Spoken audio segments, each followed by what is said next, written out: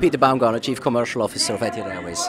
Good evening and congratulations. Thank you for joining Breaking Travel News. You've just picked up a fifth consecutive World Travel Award for World's Leading Airline. How does it feel? It's the fifth in a row, but this year it is even more special because it's uh, the year of our 10th anniversary.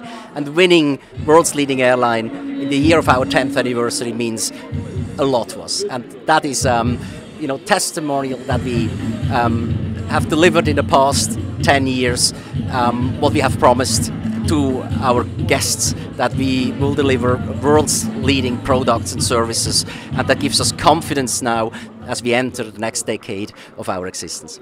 Um, you're getting bigger all the time, Serbia, other deals across the world. What do you hope will happen in the next 12 months? Well, you're right. A couple of airlines which uh, work very closely together with us. Um, it's um, delightful, you know, to see how uh, these airlines are inspired by by Etihad Airways, and that's what it's all about: consistency across, you know, our Equity Alliance. Um, it's a new model for the airline industry, um, and it's our answer of how we want to um, compete on a, on a global scale as we now fly to all six continents of this globe.